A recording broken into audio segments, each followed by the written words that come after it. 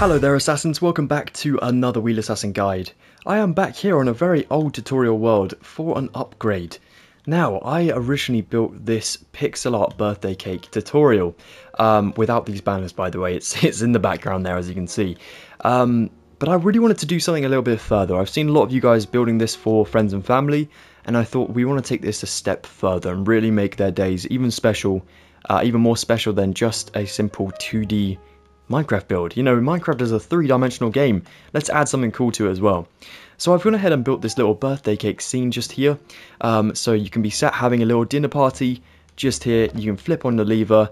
I don't know if there's any fireworks in there. There's not. Oh, there is. Well, there we go.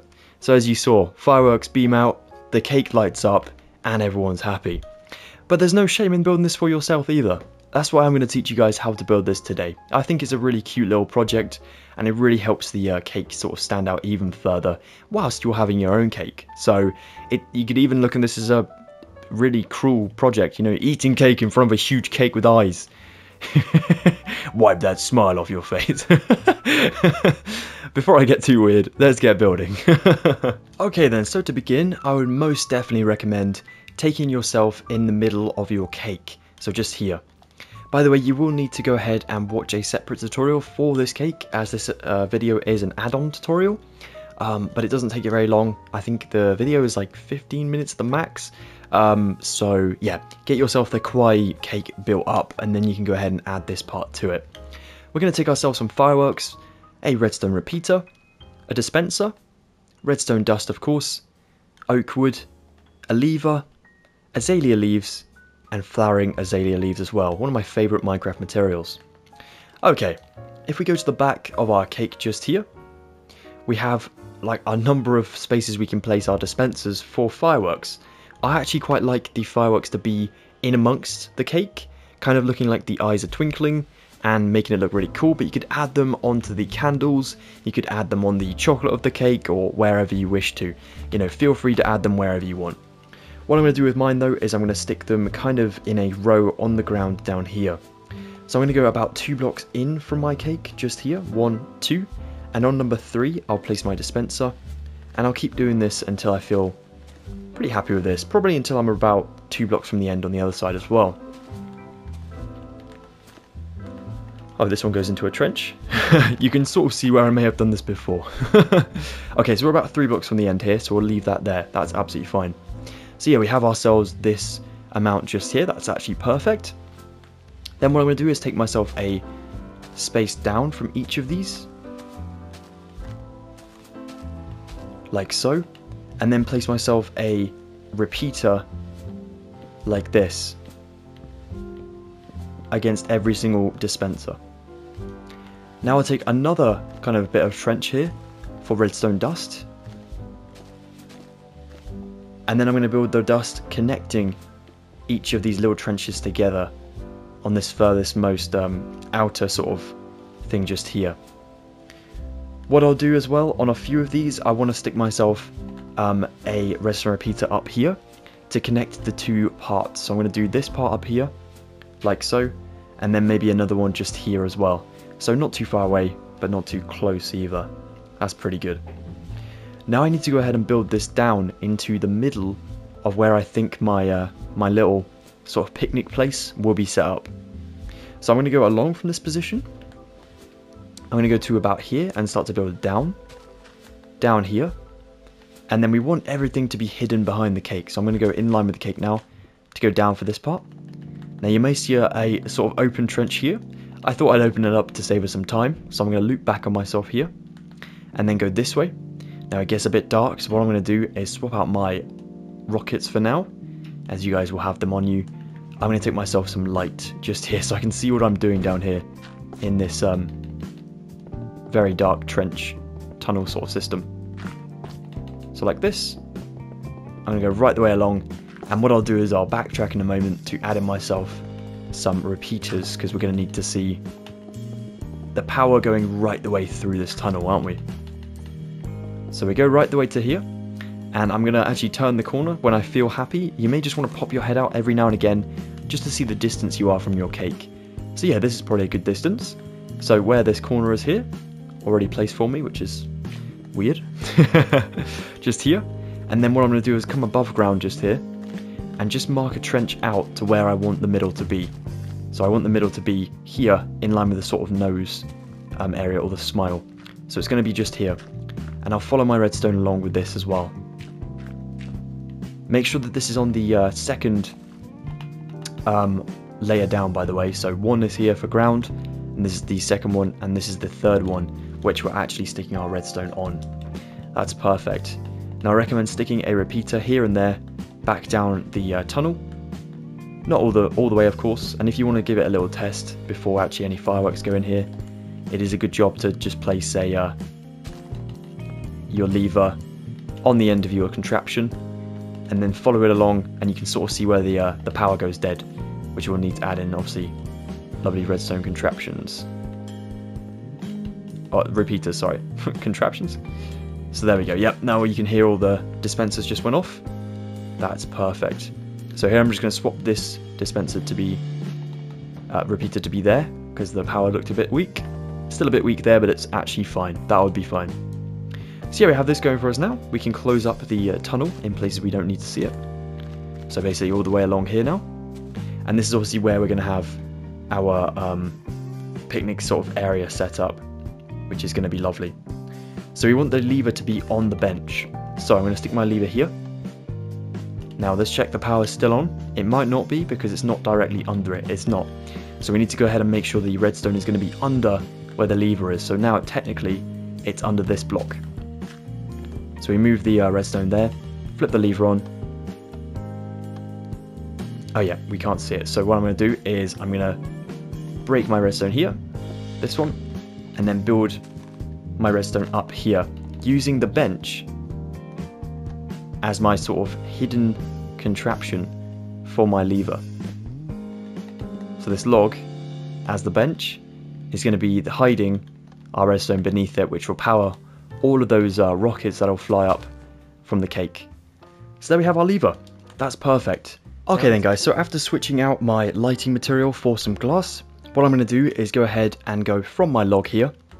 I'm going to go in the middle here by 10 blocks high with my glass. So I'm going to go 1, 2, 3, 4, 5, 6, 7, 8, 9, 10 and destroy the previous 9. Up here, I'm going to take myself around the sides for a point and then beneath, I'm going to do the same thing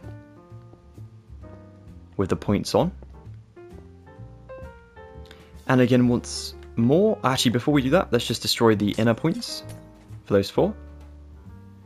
And then we'll do it once more.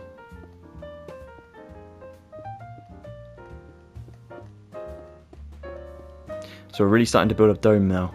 If we just take ourselves points again from each of these, out like so, and then go back in to destroy the blocks in here now to make it hollow on the inside.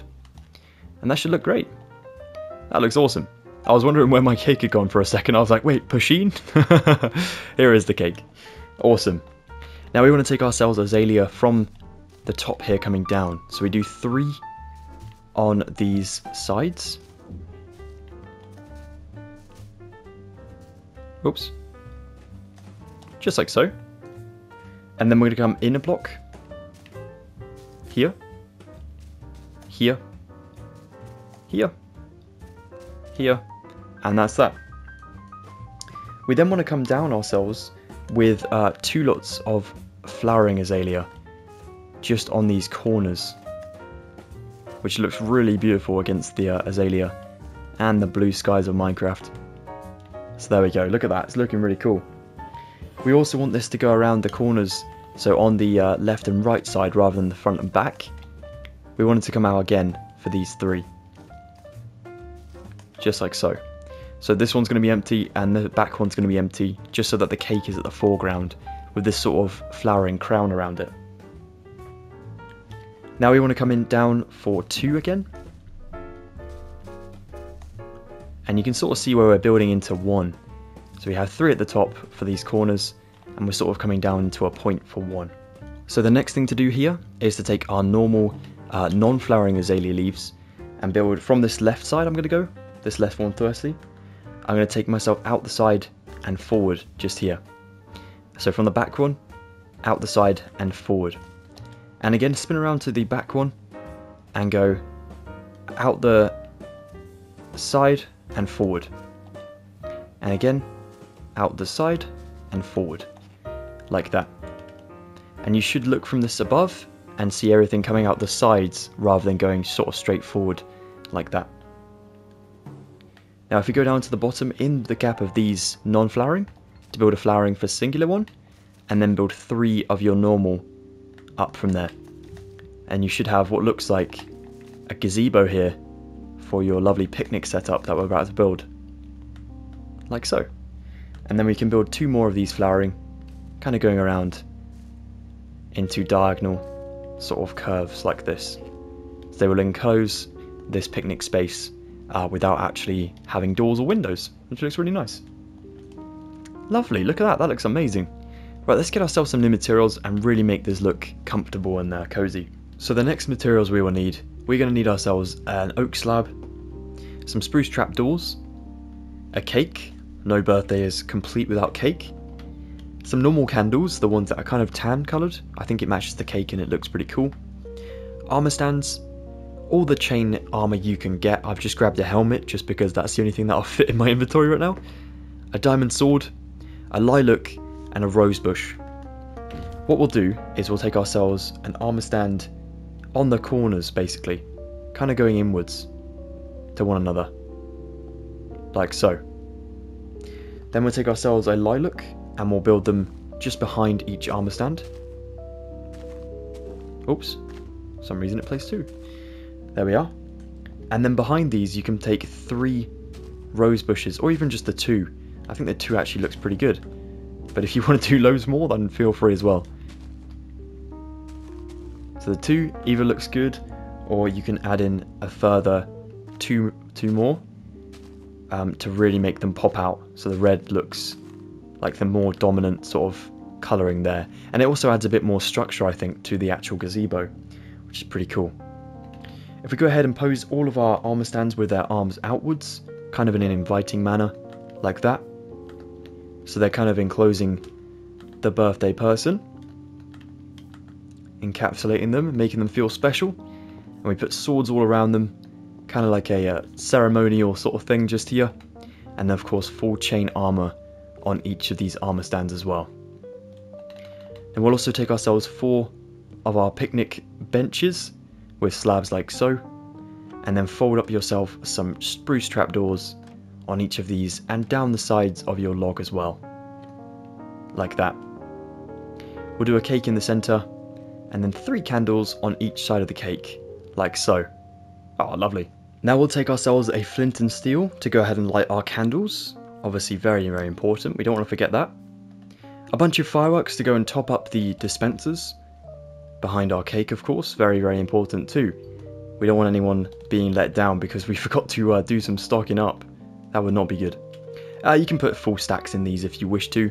Um, just make sure they're all different colours. I think it looks better if they are all different colours. I don't know why I've got greys and whites here. You definitely want yourself light colours like purples, blues, reds, oranges, yellows, that sort of thing. That would be really cool. Luckily I have a bunch in my inventory which is very helpful. Greens, yeah that would look cool. So there we are. And then we're going to take ourselves chains and lanterns. And what we're going to do is from the top up here, we'll dangle three chains down with one lantern, two chains and two chains on both sides with a lantern each. You can even do these at separate angles if you want to. So you could even do sort of like this, which could look pretty cool as well. I mean, it does look pretty fancy. Um, or you could even just do one a little bit higher than the others, like that, and then maybe make the middle one dangle even further down. So they're all at different heights. But I prefer just going for the, the usual sort of three and two, just on the sides like that. Now let's get ourselves some uh, banners and get building a happy birthday message with our banners and we can call it a day. Now the first word we want to spell out is of course happy. No birthday is complete without being happy. We want to take ourselves a light blue banner, an orange banner, two green banners, one blue banner, some white dye, light blue dye, orange dye, green dye, and blue dye. So basically all the dyes that match the banners we have here.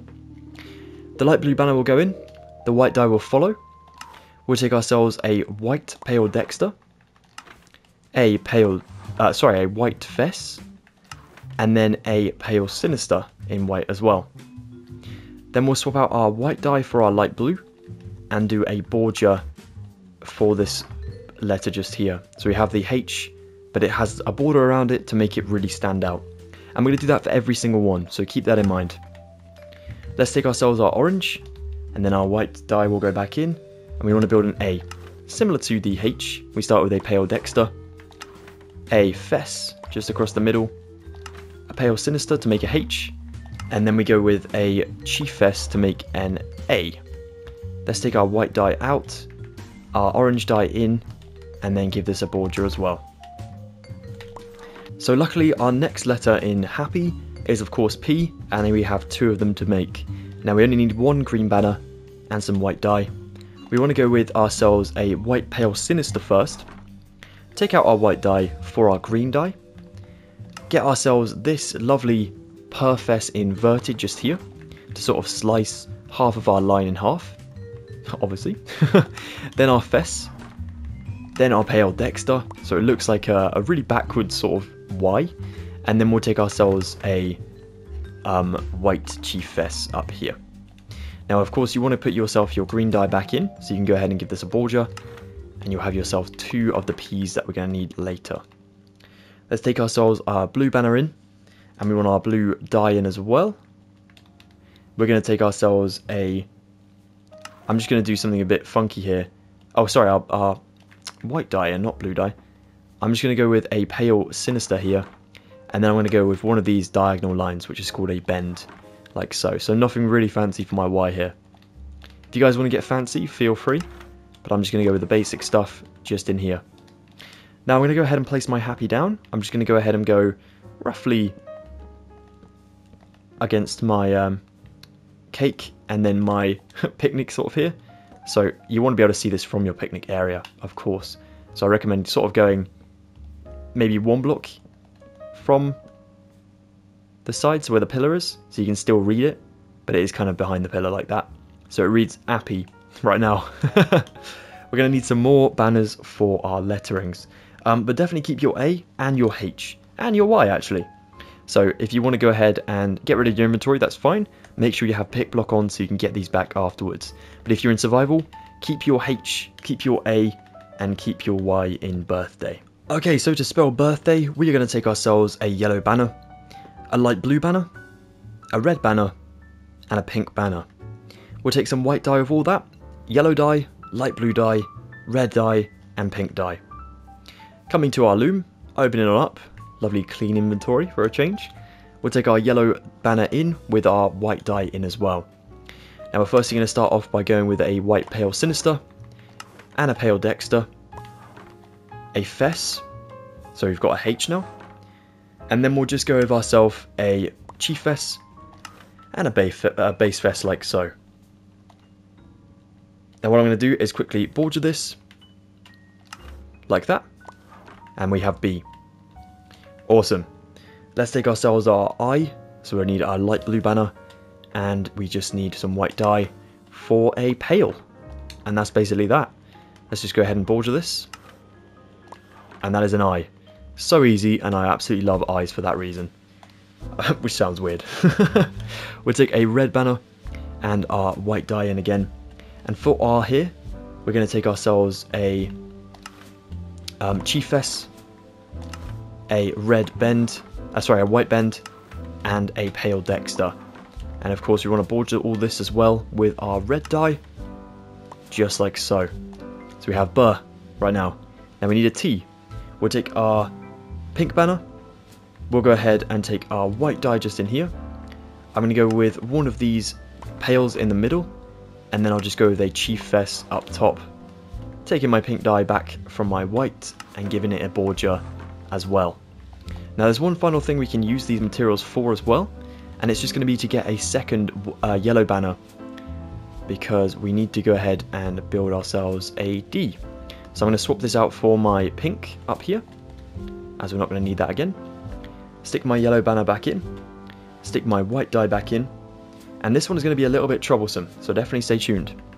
We will take ourselves a pale uh, sinister with our white dye, swap it for our yellow dye, and make ourselves a lozenge like this, so it's the diamond in the middle, like so. Now we'll swap back to our white dye, we'll get ourselves a pale dexter, a chief fess, and then a base fess like so. And then we'll go ahead and border this with yellow.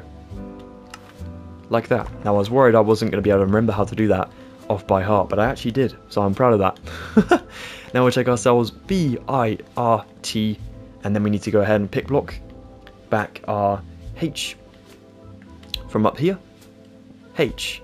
And then of course we have day, so D, and then pick blocking A back, and then pick blocking Y back, just up here. Now come back, destroy your loom, come back down here, check how it's looking. Okay, it's a little bit off center, but you guys can sort that out, you know what to do there. But otherwise, we have ourselves a birthday message with a cake, with a gazebo set up with a picnic here for your friends to enjoy. Looking lovely. I'm just going to quickly sort that out because it's bugging me. There we go. Looking lovely. well done, Assassins. Thank you so much for joining me for another Wheelassassin guide. I hope you guys have had fun with this tutorial. It has been an absolute pleasure to teach you how to build another celebratory one. Um, I do enjoy doing these and it is always very fun. So thank you for the opportunity once again. If you want to go ahead and drop a like on this video if you did find it helpful and you did enjoy, that would be really, really appreciated. And uh, it would hopefully get this video recommended to more people out there stuck for birthday ideas. So that would be cool to see. If well, not cool to see them stuck, but you know what I mean. Cool to see them. Sorry. Um, if you guys want to consider subscribing for future Minecraft tutorials, I do have a lot on my channel, including Pusheen, Dead Ahead of Me, this cake of course, and many, many, many others. Not just pixel art tutorials, there are tons. So definitely go and have a look through those and uh, see what you like. But yeah, have an excellent rest of your day, guys. If it is your birthday, happy birthday to you, my friend. I hope you have a wonderful day. Let me know in the comments below, and I'll try my best to wish you happy birthday uh, myself with a lovely reply as well. So, um, yeah, take the best of care. Have an excellent one, guys, and goodbye for now.